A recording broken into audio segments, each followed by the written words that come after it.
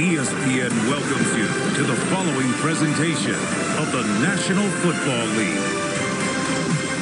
Are you ready for some football?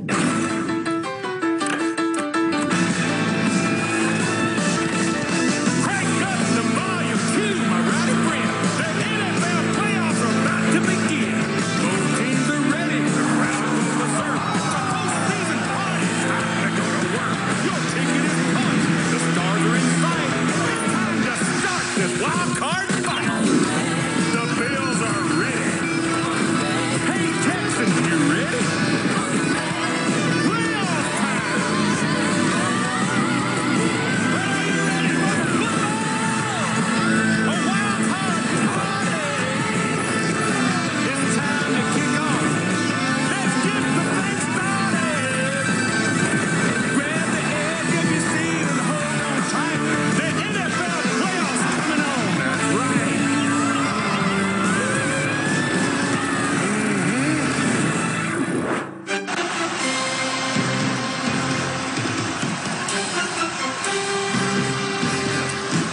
The NFL's 100th season was a football path that had outrageous twists and turns.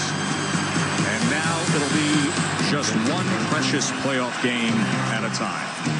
Survive and advance. The Bills and the Texans.